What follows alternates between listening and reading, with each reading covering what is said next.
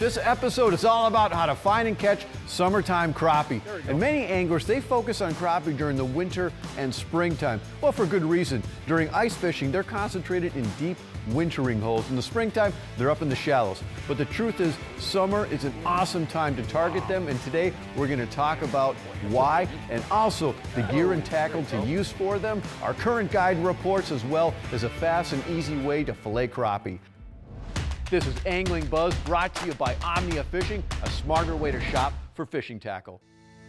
This time of year, crappie are schooled up along the deep weed lines. We can kind of think of this as a pivot point. There's large concentrations of fish on the main lake points, sunken islands, and their movement revolves in and around the deepest weed lines that exist in the lakes that you're fishing.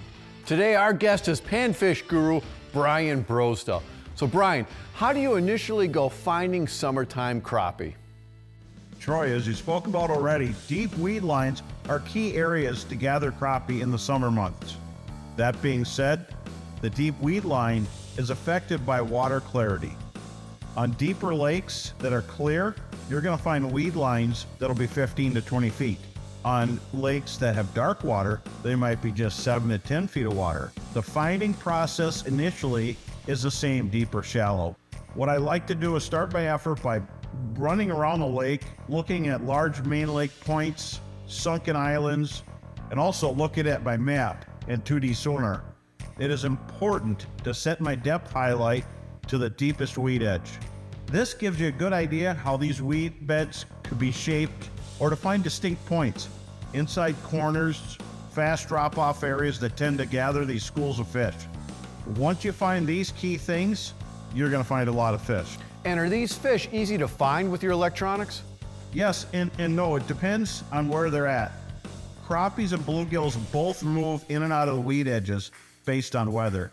Warm, stable weather, you'll find them suspended over the weeds. And if you get a cold front or adverse weather, they might burrow down into the weeds and be really hard to find on your electronics. It is important to understand what these fish do in their daily movements when weather's affecting them. Okay, so we found the fish on the deep weed edges. How are you going to catch them? It really depends where the fish are in the water column. If they're suspended really high, a slip float might work and be the best presentation. If they're holding tighter in the weeds, I would cast small jigs like a Northland 16th ounce gumball swim bait or a Crappie King thumper jig. Count it down till it's in the weeds and then slowly roll the bait through the stalks. Sometimes crappies will suspend out away from the weed edge. These fish are quite visible in your electronics. You'll spot them when you cruise on the edge. In this case, I would often jig troll with those same baits, the gumball and the thumper jigs. Pitch them out and just let it sink down and start trolling. The key to jig trolling is the speed of the boat, which dictates where your bait is in the water column.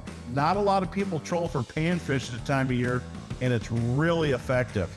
Yeah, that's great. Many anglers don't really think about trolling when it comes to crappie fishing. Well, thanks, Brian, for your time and sharing some insight into this time of year for panfish. Slabosaurus cropzilla.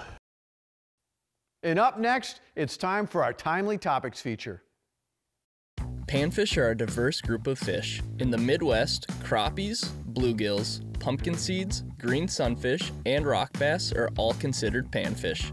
Nationally, panfish are the second most sought after fish, and for good reason. His favorite fish is a crappie, just like it is for many of you. Crappie are your favorite fish. They're plentiful, they're fun to catch, Yeah, look at uh, that big one. No way. I am rocking it today. You sure are. Look at that guy. and not to mention, they make a fabulous table fare. It's good. In some regions, panfish grow very, very large. In Lake Havasu in Arizona, the world record shellcracker or red ear sunfish has been broken again and it weighed 6 pounds 3 ounces. The old world record was 5 pounds 7 ounces. These fish started growing to monstrous sizes after the invasive zebra mussel got into the lake.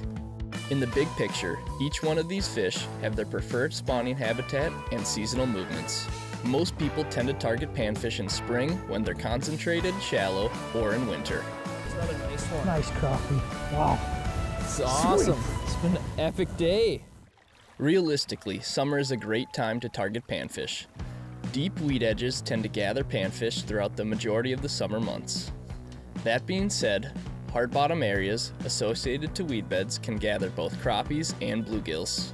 In many northern lakes that don't have weeds, both crappies and bluegills live in and around rocks.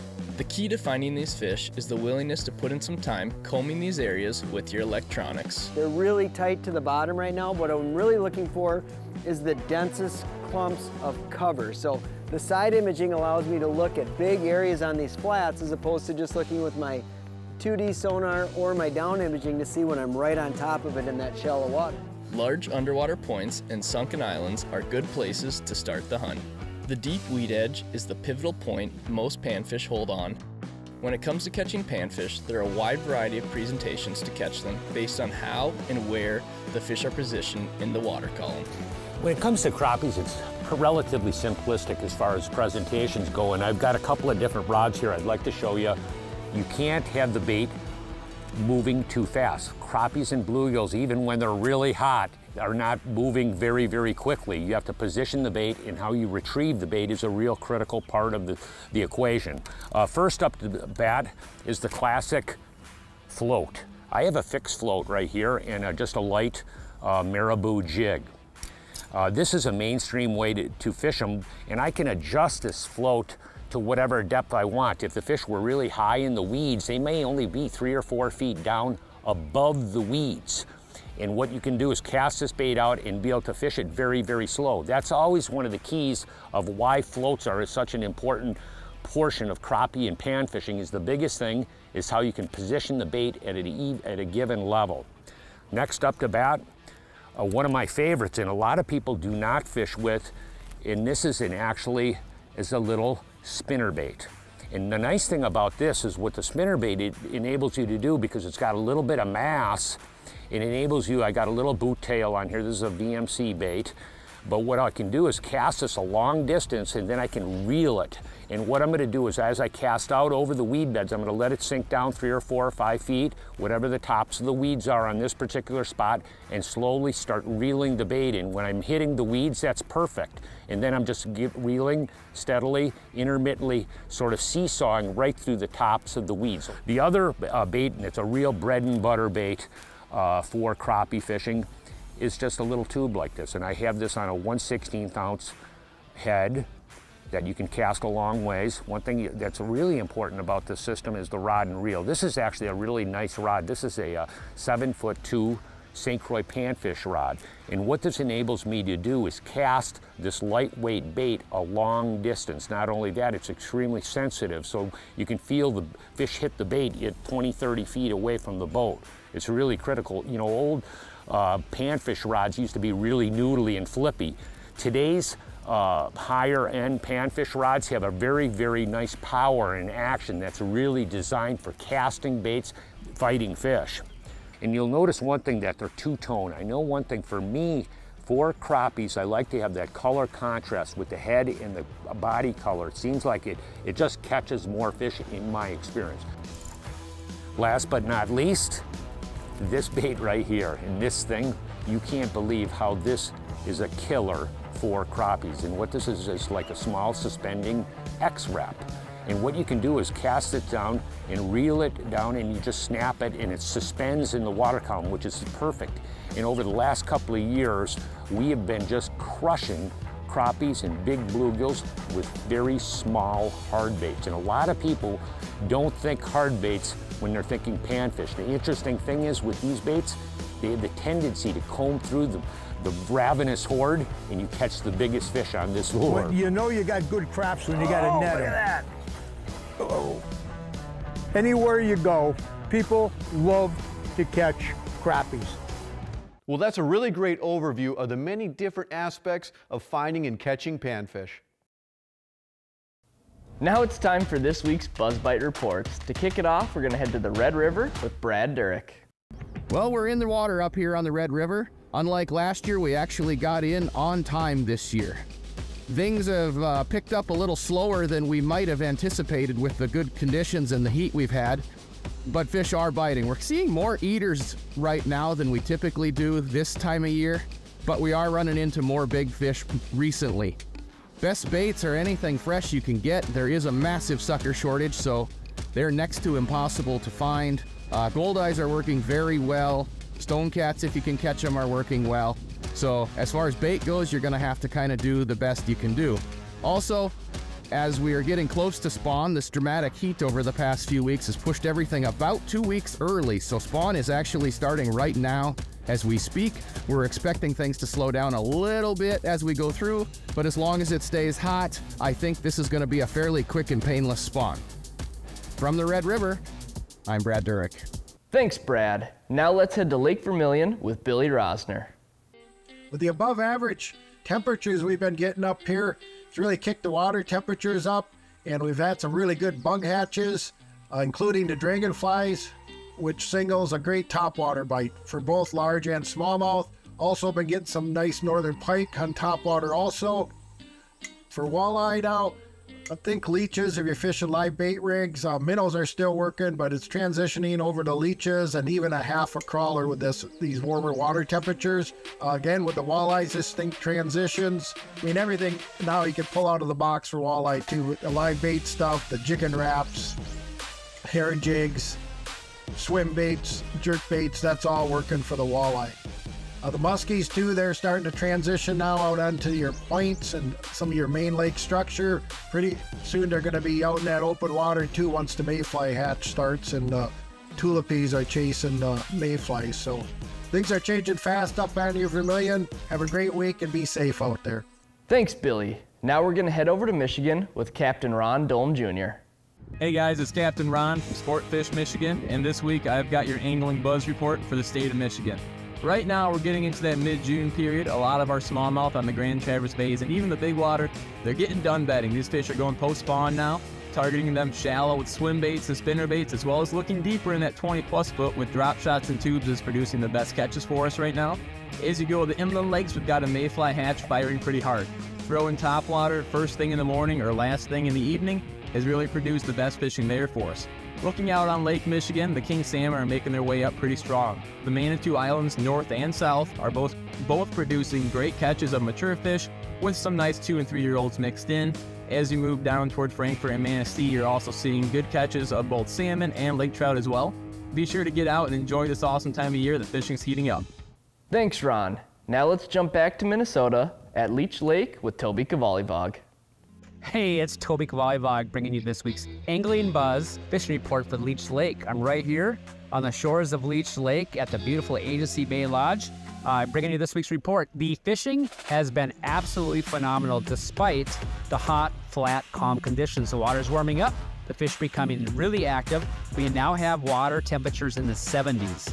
Uh, we had 76, 77 degrees in areas where the water was only 58 degrees last weekend. So a lot of warm water, and the fish are starting to push to where the bugs are hatching. So the edge of the rock flats, the edge of the sand flats, lots and lots of walleyes. The best tactic with the flat water is to use side imaging and forward facing sonar and bobbers. Bobbers and or jigs and paddle tails or jigs and minnows working now fast. So we're snap jigging them through those fish and uh, letting those fish chase them in the suspended version through the water column. So suspended fish are about halfway in the water column, so four to six feet down and 10 to 12 feet of water. Because we want to fish high above them, so bobbers keep them set high above the fish.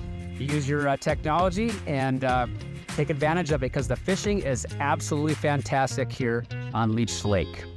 Thanks, Toby. Now let's head to the Alexandria area with Joe Segura. Hello, Joe Segura here with the Alexandria Fish Report.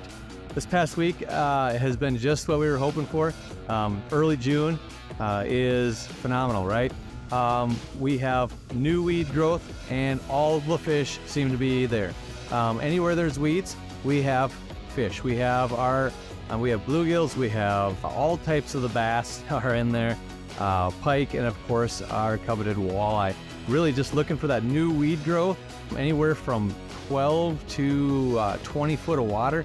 uh, getting a lot of just mixed bag. We have uh, in a four-hour period, we are getting just about every species uh, that swims in the lake, uh, as well as these big female walleyes. Uh, they have showed up in fury. They are all over the place, it seems like, um, which is great. Uh, we are catching the biggest one this week, 30 inches, uh, one of the fattest ones I've seen, pushing over 11 pounds. It was a beast. So um, a lot of 27, 24, 22s, uh, any, a lot of over 20s. I mean, we have evenings where we're not getting to keep any because they're all over. So um, not something that typically Alexandria is noted for, but uh, currently we have a number of lakes kicking out those big fish. So it's been a fun week for sure.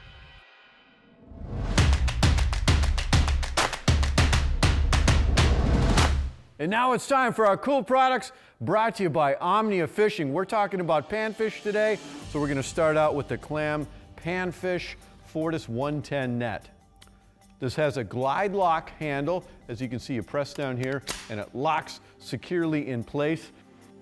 This is made of military grade aluminum. It's very strong and also very lightweight. The handle extends out really far. And it has a laser etched ruler engraved and it features a conservation net. This is a polyester coated net for the safety of the fish. This is a great, strong, lightweight, durable net from Clam, the Fortis Panfish 110.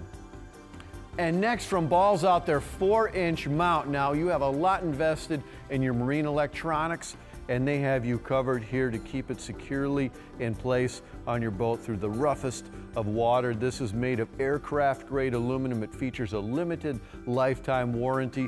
They do offer a lot of different sizes for different manufacturers, different boats as well.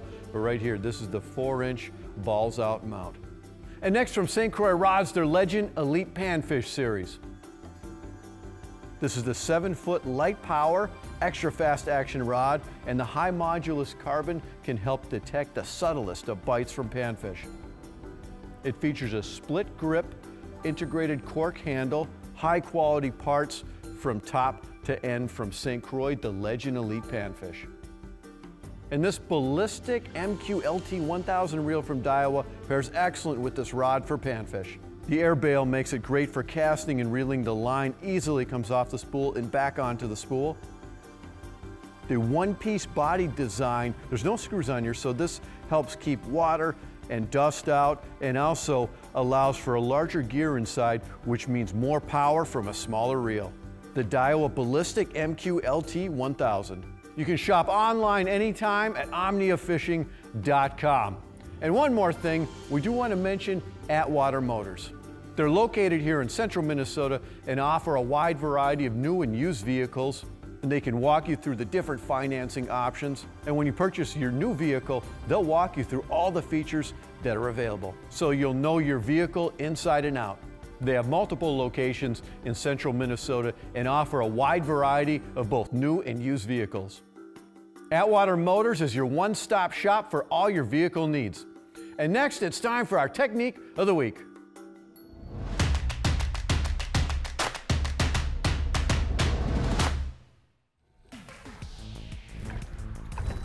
Ooh. Grappo. Nice. Grappo. I went to a little, a little, look at that, Dano. I put a little curly tail on. Nice one, huh? Yeah. We'll see. up on the? Yeah. Did you have one too? Yeah. Yeah. Just see what happens. About halfway back. You know, and crappies are so popular because people like to eat them because they taste great. And filleting crappies can be a real art. And Mike Hehner, this guy that I work with, is one of the best. So everybody has their favorite way of cleaning fish, whether it's with an electric knife or a standard blade. For doing panfish, I prefer using a standard bladed knife, and what works best for me is either a small knife or a real thin bladed knife. So the first step is to pull the fin back, cut behind the gill, down to the backbone, and then you run along the backbone, then push the knife through, go out the tail, cut back to the rib cage while pressing down, and then you just go around the edges here.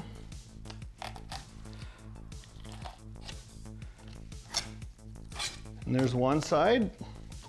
And complete the same on the other side. Back to the rib cage, along the backbone.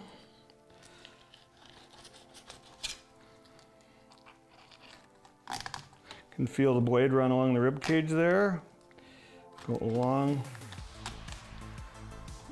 edge, go around the rib cage, and you got two pieces. So after that, what I like to do, skin it. And then there's, on all the fish, there's a little row of bones here just above the rib cage that we just went around. They're called the epipleural bones. And on a bigger fish like this, you can feel them and they usually don't fry out. So I'll take this knife and run it and cut this little V out like so. Cut those bones out.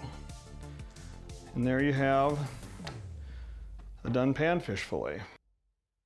I think everyone can agree that fresh caught crappie is absolutely delicious. The products featured in today's video are linked below in the description. And also be sure to enter our sweepstakes. There's a link below in the description as well. You can win an awesome weekend up on Lake Vermilion. That's a big fish factory, all expenses paid, a guided fishing trip with myself, as well as a hand-selected tackle pack from Omnia Fishing. We can all help to reduce the spread of aquatic invasive species anytime you're leaving any body of water. Remember, clean, drain, dry. And if you have any comments about today's episode, let us know down below. And here's another video from Angling Buzz.